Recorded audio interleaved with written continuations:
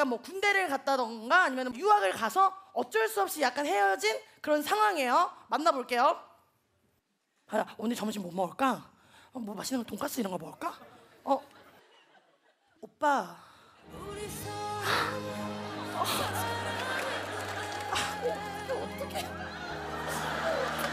그렇다고요? 어, 어, 오빠 잘 지냈어? 어, 나 먼저 가볼게.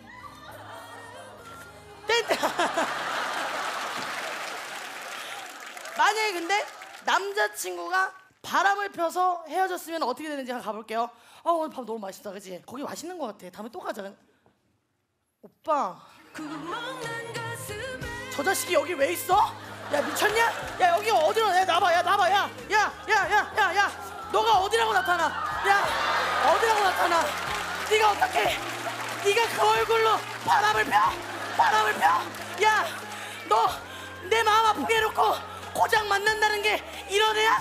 차라리 만날 거면 나보다 이쁜 여자를 만나든가 왜 이런 애를 만나가지고 야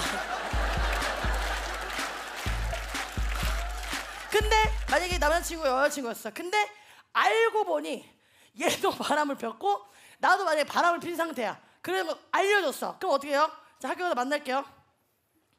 어 오빠. 행복해 오빠. 너도 그럴 때문에 와우! 와우! 와우! 어 어. 아 오빠 오빠 오빠 오빠 만날 때 바람 폈던 애가 얘야. 와